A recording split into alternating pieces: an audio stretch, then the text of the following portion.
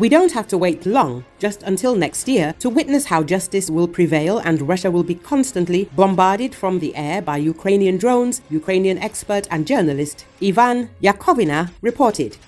The journalist is convinced that we have started mass producing drones quite quickly, which means that massive strikes on enemy military facilities will soon become the norm for them.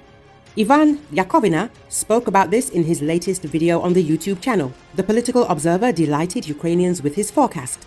Ukraine is now gradually increasing its capabilities for delivering long range strikes against Russia, both quantitatively and qualitatively.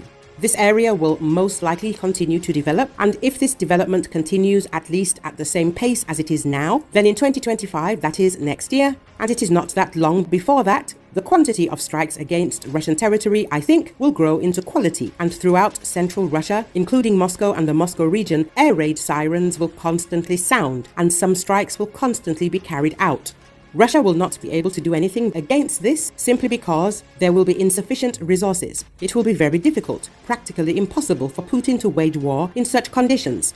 Hitler got something similar when, in 1944 and 1945, essentially all of Germany was on fire due to constant Allied air raids. That is, airstrikes were carried out on various German targets. Ivan Yakovina emphasized Recall recently Ukraine targeted the Russian capital in its biggest drone attack so far, killing at least one and wrecking dozens of homes in the Moscow region and forcing around 50 flights to be diverted from airports around Moscow.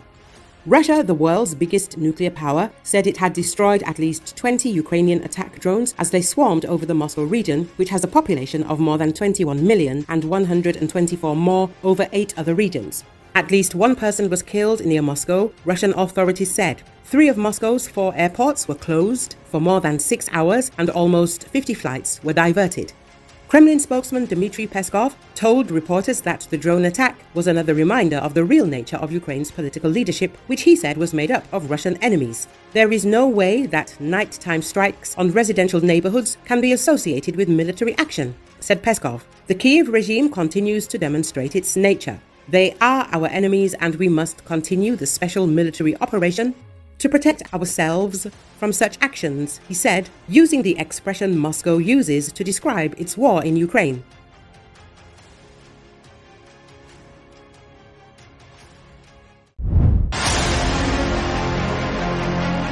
The statement was made against the background of how Russia recently demonstrated its readiness to arm the Houthis with anti ship missiles and transfer the Pantsir S 1 medium range air defense system to Hezbollah through Syria.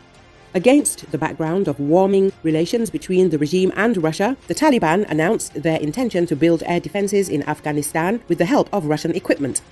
And if in recent months, as it turned out, Moscow is ready to arm the Houthis in Yemen and even Hezbollah in Lebanon with modern missiles, it may not be so ready for the current ruling regime in Kabul, writes Forbes. In early 2023, less than two years after reconquering Afghanistan amid a chaotic US withdrawal, the Taliban allocated the largest share of Afghanistan's defense budget, declaring their intention to build air defenses.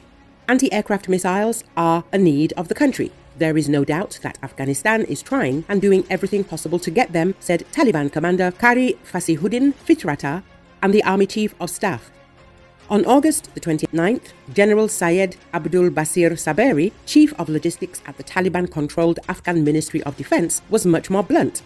I think we need equipment for air defense and airspace control. We have ground equipment. I think we will buy such products from you at the international level when the international legal conditions for this appear, Saberi said. It is noted that a few years ago it was impossible to imagine that the Taliban could make such a request. But Saberi's statement was made during a period of warming relations, an example of which was Moscow's invitation to the St. Petersburg Forum in May. Saberi's comments suggest that the group hopes that warming relations could lead to the purchase of weapons. The statement also came after Russia recently demonstrated its readiness to arm the Houthis with anti ship missiles and transfer the Pantsir S 1 medium range air defense system to Hezbollah through Syria. The transfer of armor to the Taliban or short and medium range systems such as the Buk and Tor would undoubtedly alarm the United States.